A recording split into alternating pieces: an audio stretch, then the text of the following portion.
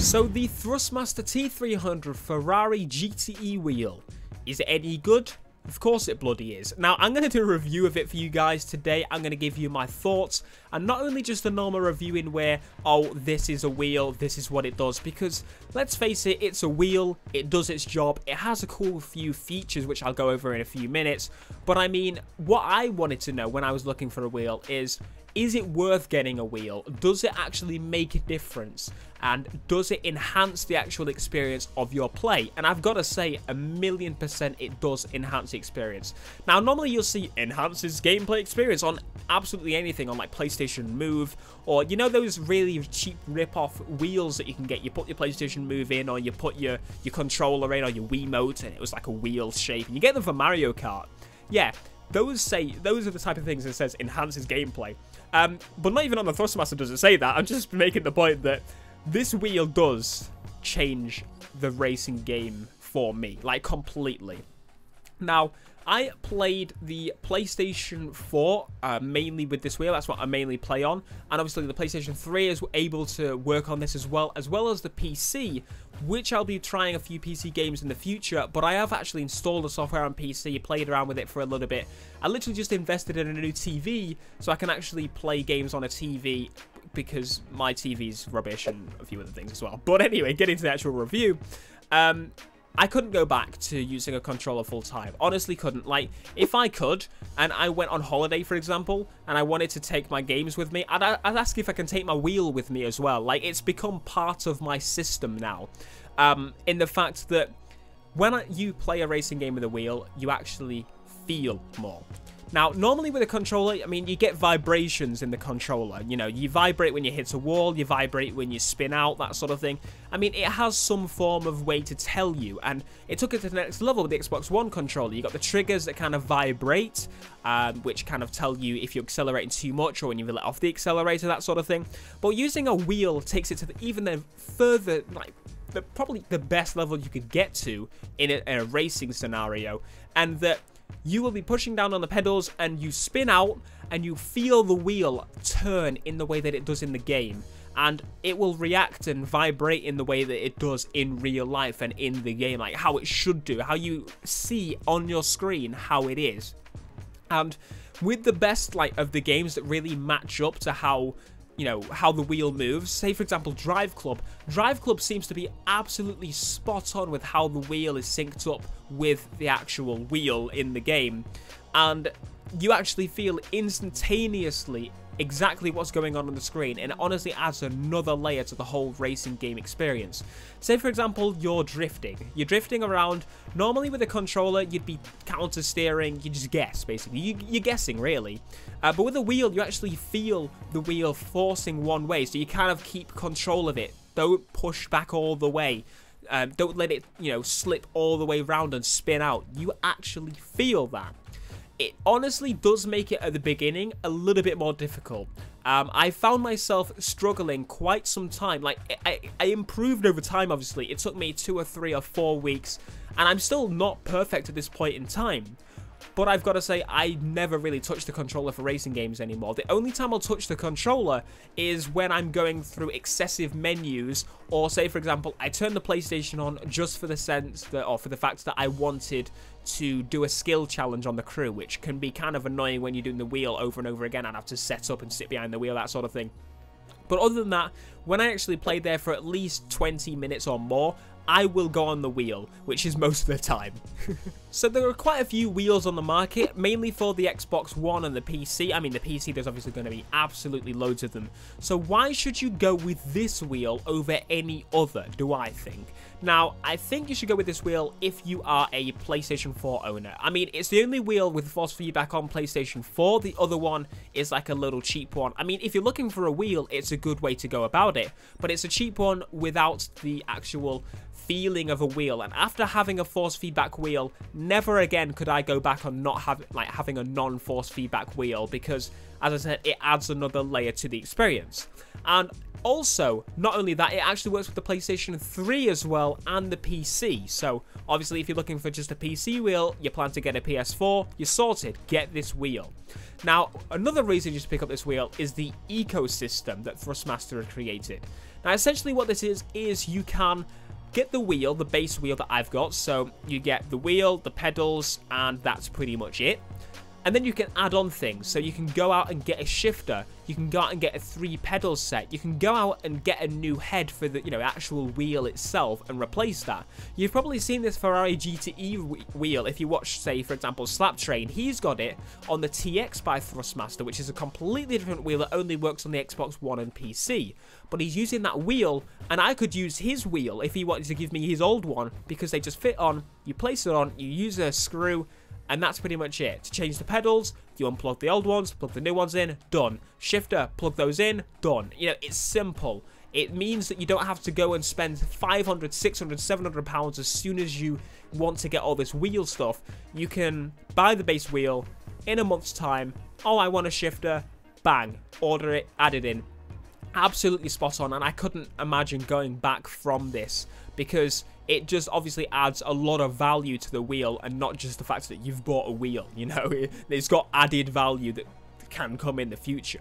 Now, as a YouTube commentator, one thing that came to mind as well is, is this thing going to be loud? Because if it's loud, then obviously my microphone's going to pick up a lot of whirring and, you know, fans spinning and that sort of stuff. And it actually is really, really quiet. So just to be clear, I have a very good microphone that cost me about £100. Um, but when I had before was a Blue Snowball, and my wheels still didn't really pick it up, which is a pretty low-end microphone when it comes to, say, commentating, for example. So it doesn't pick it up, it's clamped to the same desk. You can hear it there sometimes when it gets really loud. That's after playing for like a couple of hours when the uh, the fans begin to spin. But for the actual motors themselves, they use dual belt friction-free optimized mechanisms, and they use brushless motors and that sort of stuff to make sure that it is as quiet as possible and after using other wheels in the past and hearing my friends play with their old wheels that were, say, from Logitech or whatever, I could definitely hear those wheels. And with mine, they can't tell I'm playing with the wheel except for the fact when my table shakes when I get spun out on Drive Club because I'm a terrible driver. Something else absolutely incredible about this wheel is something called HART, which is Hall Effect Accurate Technology.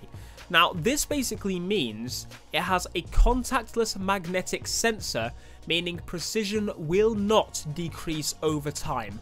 Now, since when do you ever see a product that tells you that it's not going to decrease in, you know, how well it works over time. Like, you never see that kind of statement anywhere. And if they say that, they really must mean that because you can obviously go back to them and say, hey, it didn't last more than a week, you know. Um, and, but over time, honestly, I can say that this wheel has not, you know, decreased in how, uh, how precise it is or decreased in how much force feedback it's got or anything. Like, it's literally just like it's out of the box except for the fact that I've played with the wheel a lot, so it's got a bit of dust here and there. But I mean, you can wipe that off and carry on. And uh, but you know, honestly, I I didn't expect to see that, so that that was you know really really cool.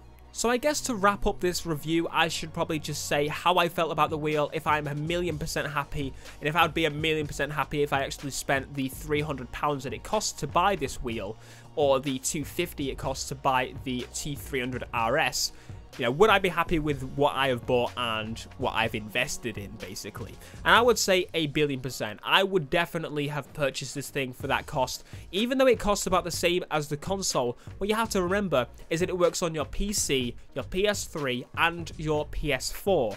And not only that, you don't have to then replace that wheel for a long time to come, especially when you go to sim racing on PC, for example. You can keep that forever and ever and ever, and then in the future you can say, right, I want to get a shifter, pull out the shifter, there you go, you know, sorted. You've added it on, you don't have to get a brand new wheel for it, which honestly adds a, a lot of value to me. And uh, would I say go for the T300 RS or go for the T300 Ferrari GTE? I guess that's just a preference, but once again, if you go with the T300 RS, you can actually buy the GTE rim, the Ferrari GTE rim, and then add it on to your T300 RS. So, you know, in the future. So, you know, it, as I said, the, the ability to customize this thing is absolutely insane. Now, the, another thing, uh, the ability to change the degree of rotation. You can change it all the way from seven, uh, 270 degrees to 1080 degrees, which is absolutely insane. So, say for example, on the crew, I go 270. On Drive Club, I go 1080. And on a lot of PC sims, I'm going to go 1080 as well. And obviously, it's got internal memory, so firmware updates are going to come. It's got fans, so, you know, it cools itself and it's going to last longer.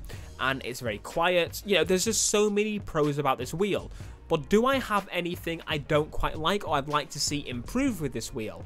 Now, I'd say one of the cons would be the price. Honestly, like, even though you're getting a lot of money, uh, a lot of value for your money, 300 pounds or 330 RRP seems like a lot of money to produce uh, something like this. I mean, maybe it does cost that much. I don't know a lot about mechanics and that sort of thing that goes into, you know, developing a wheel and such. I can imagine it's a lot more than a damn controller, for example.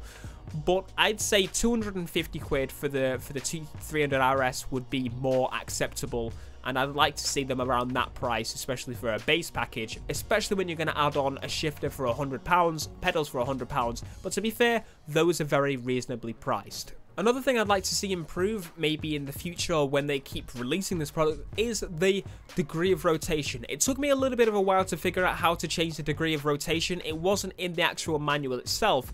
I had to go online and figure it out. But once I figured it out, it, was, you know, it was a simple process. I understood how to do it. You just press the mode button and the arrow up or down, and it changes the degree of rotation. That's for consoles. On PC, it's pretty much simpler. You know, you have a slider there. You can select, select it or select it in-game, that sort of stuff.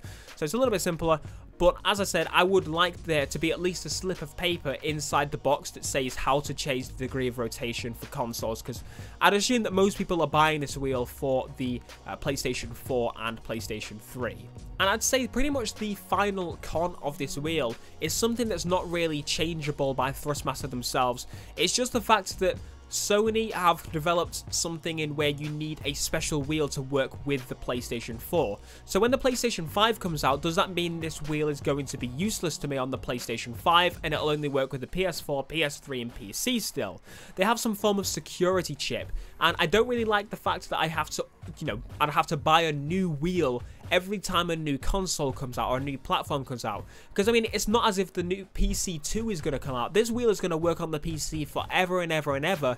And once they even drop support themselves, drivers will be still there to be, you know, base the, the wheel on itself and there'll always be people using it, so developers will use it. And if they don't, there will be modders available to, you know, mod this wheel to work inside those games.